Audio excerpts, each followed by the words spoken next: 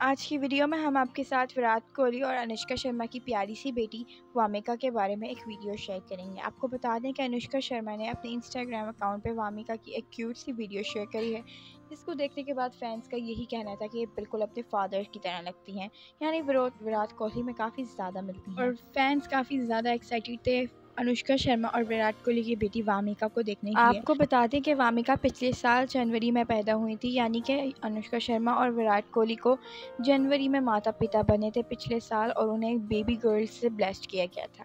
آپ کو بتائیں کہ جب وہ پیدا ہوئی تھی تو انوشکا شرما کا یہی کہنا تھا کہ ان کی شروع سے یہی خواہش تھی کہ وہ اپنی بیٹی کا نام وامیکا رکھیں کیونکہ وہ یہی کہتی تھی جب ان کی شادی نہیں ہوئی تھی کہ وہ اپنی بیٹی کا نام وامیکا رکھیں گے۔ اسی وجہ سے ان کا نام وامیکا رکھا گیا۔